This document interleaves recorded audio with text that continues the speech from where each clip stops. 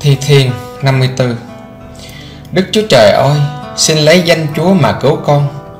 Dùng quyền năng Chúa mà xét xử công minh cho con. Lại Đức Chúa Trời, xin nghe lời cầu nguyện con. Lắng tai nghe các lời của miệng con. Vì kẻ xa lạ nổi lên chống lại con Người hung bạo tìm hại mạng sống con. Chúng không để Đức Chúa Trời đứng trước mặt mình. Này Đức Chúa Trời giúp đỡ con. Chúa là đấng nâng đỡ linh hồn con. Ngài sẽ báo trả kẻ thù của con về tội ác chúng. Xin Chúa hủy diệt chúng theo sự thành tín của Ngài. Lại Đức giê va Con sẽ dâng lên Ngài tế lễ tình nguyện. Con cũng sẽ cảm tạ danh Ngài Vì điều đó là tốt lành.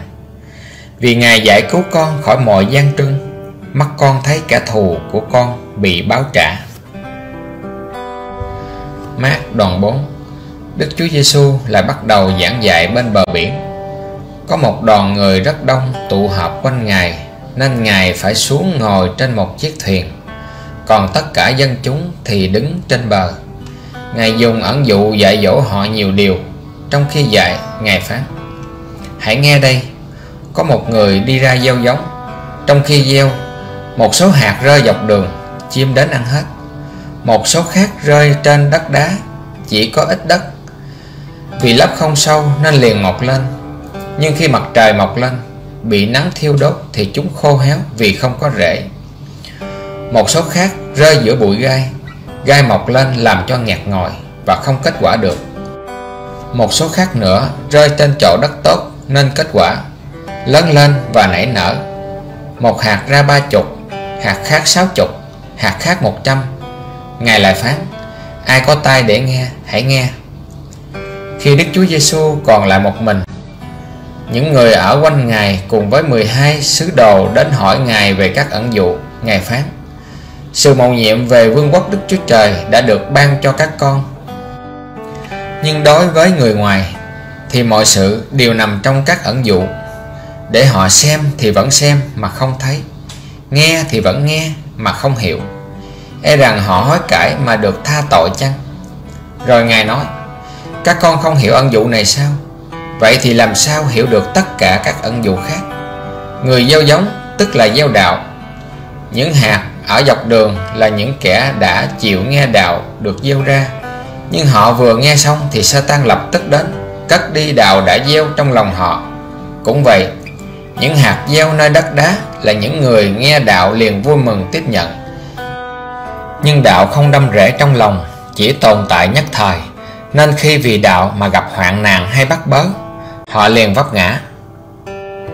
Những hạt rơi giữa bụi gai, Giống như những người nghe đạo, Nhưng sự lo lắng về đời này, Sự quyến rũ của giàu sang, Và sự tham muốn những thứ khác xâm chiếm lòng họ, Làm cho đạo bị ngạt ngòi, Không kết quả được.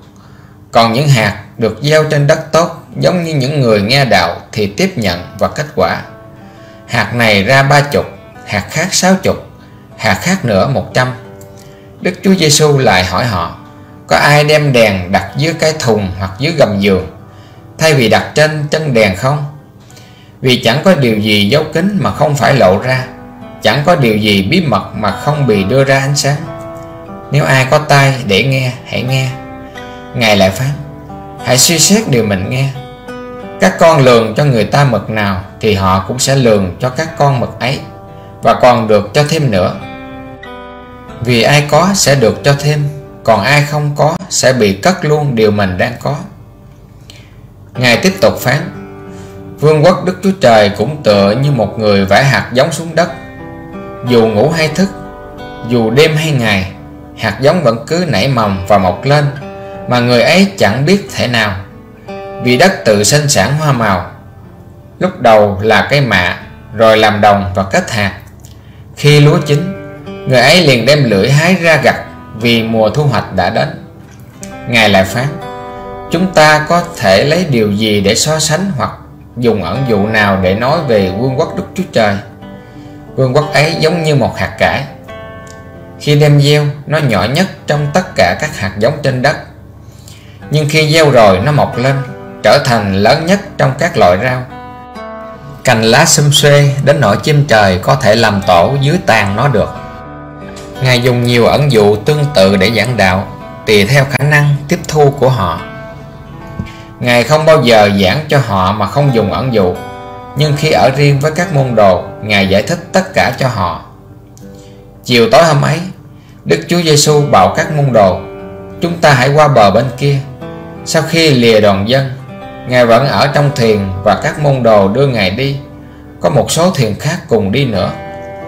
Một cơn bão lớn nổi lên Sóng ập vào thuyền đến nỗi thuyền đầy nước.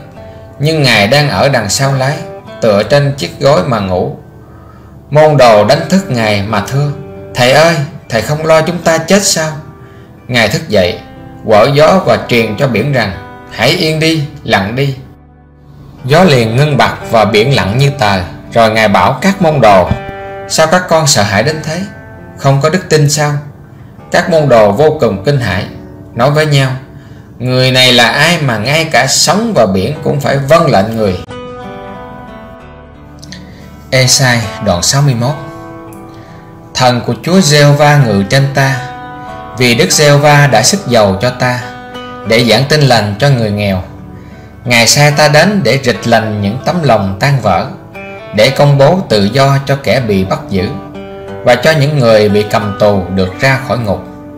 Để công bố năm thi ân của Đức giê va Và ngày báo thù của Đức Chúa Trời chúng ta, Để an ủi mọi kẻ khóc than, để ban mão hoa cho những kẻ khóc than ở Sion thay vì cho bụi, ban dầu vui mừng thay vì tan chế, ban áo ngợi ca thay vì tâm linh sầu khổ. Họ sẽ được gọi là cây công chính, là cây đức giê va đã trồng để làm vinh hiển ngài họ sẽ xây lại các nơi đổ nát ngày xưa, dựng lại các nơi hoang tàn lúc trước, trùng tu những thành bị phá hủy, là những nơi bị bỏ hoang từ bao đời. Những khách lạ sẽ đứng chăn chiên cho các ngươi, dân ngoại sẽ làm ruộng và trồng vườn nho cho các ngươi. Còn các ngươi sẽ được gọi là thầy tế lễ của đức giê va người ta sẽ gọi các ngươi là đầy tớ của đức chúa trời chúng ta các ngươi sẽ hưởng của cải các nước và thu lấy vinh hoa của chúng. Thay vì sự xấu hổ, các ngươi sẽ hưởng gấp đôi. Thay vì nhục nhã, sẽ vui mừng về phần bắt thăm của mình. Các ngươi sẽ có sản nghiệp gấp đôi trong xứ và được niềm vui bất tận. Vì ta, đức giê va yêu sự chánh trực, ghét sự trộm cướp và gian tà, nên ta sẽ theo lòng thành tín mà đền bù cho dân ta và lập giao ước đời đời với họ dòng dõi họ sẽ được biết đến trong các nước con cháu họ sẽ nổi tiếng trong các dân Mọi người thấy họ sẽ phải nhìn nhận rằng họ là một dòng dõi được Đức giê va ban phước. Ta sẽ rất vui vẻ trong Đức giê va linh hồn ta mừng rỡ trong Đức Chúa Trời ta, vì Ngài mặc áo cứu rỗi cho ta, khoác trên ta áo tròn công chính. Như chàng rể chỉnh tề khăn áo giống thầy tế lễ, như cô dâu trang sức ngọc ngà châu báu. Vì như đất đai làm cho cây cối mọc lên vườn tược làm cho hạt giống nảy mầm thể nào thì Chúa giê va sẽ làm cho sự công chính nảy mầm và lời ca ngợi trỗi vang trước mặt muôn dân thể ấy. Esai đoạn 62 Vì cớ Sion ta sẽ không nín lặng Vì có Jerusalem ta sẽ chẳng nghỉ yên Cho đến khi sự công chính của nó chiếu ra như ánh sáng và sự cứu rỗi nó rực lên như ngọn đuốc.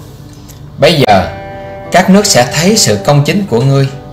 Tất cả các vua sẽ thấy vinh quang ngươi. Người ta sẽ gọi ngươi bằng một tên mới, là tên do chính miệng Đức giê va đặt cho. Ngươi sẽ là mão miệng đẹp đẽ trong tay Đức giê va sẽ là vương miệng trong bàn tay Đức Chúa Trời ngươi. Người ta sẽ không còn gọi ngươi là kẻ bị ruồng bỏ, chẳng gọi đất ngươi là đất hoang vu nữa. Nhưng ngươi sẽ được gọi là người mà ta vui thích, và đất ngươi sẽ được gọi là người có chồng. Vì đức giê va vui thích ngươi, và đất ngươi sẽ có chồng. Như chàng trai sẽ cưới một trinh nữ thì con cái ngươi cũng sẽ nhận sản nghiệp ngươi. Như chú rể vui mừng vì cô dâu, thì đức chúa trời ngươi cũng vui mừng vì ngươi.